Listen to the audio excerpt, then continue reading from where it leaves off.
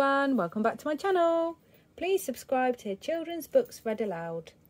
Meg at Sea by Helen Nicoll and Jan Pienkowski. Meg, Mog and Owl went to the seaside. They went out in a boat, but there was no wind. Shall I make a spell?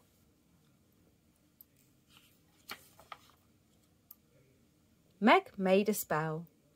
Mermaid's tail, lobster's toe, octopus wriggle, blow, wind, blow. The wind blew. A storm blew up. I feel sick, said Meg. There's land, squawked Owl.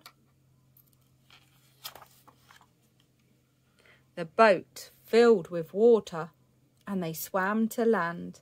Abandon ship! It was an island. They were cold, wet and hungry. Meg used a magnifying glass to make fire.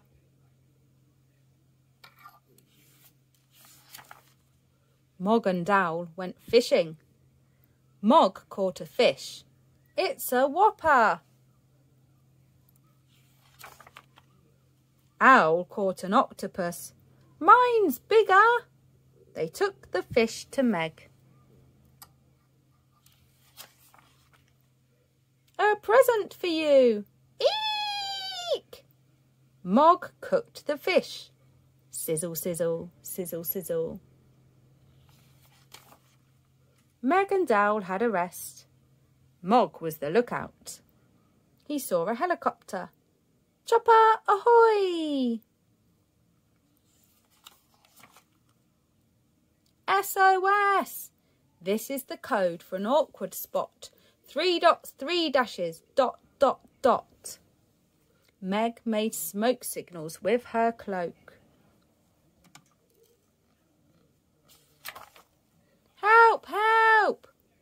They called.